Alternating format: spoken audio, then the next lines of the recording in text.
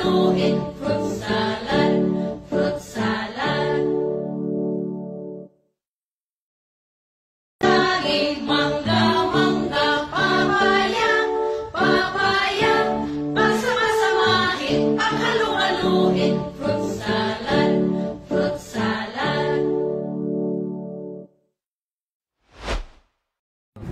Hello everyone! Happy Kakamping Wednesday! Madalas sa mga live ko, kino-comment yung word na kakampuke. At ang gusto ata nilang palabasin dito ay para mainsulto ako bilang isang babae. Pero ang katotohanan, hindi naman. Kasi totoo namang may puki ako. Totoo naman na ang representasyon or isa sa mga representasyon ng pagiging babae ay magkaroon ng puki or may puki. Kasi ang puki ay malakas. Ang puki ay powerful. Ang puki ang naglalabas ng buhay at mga tao dito sa mundo.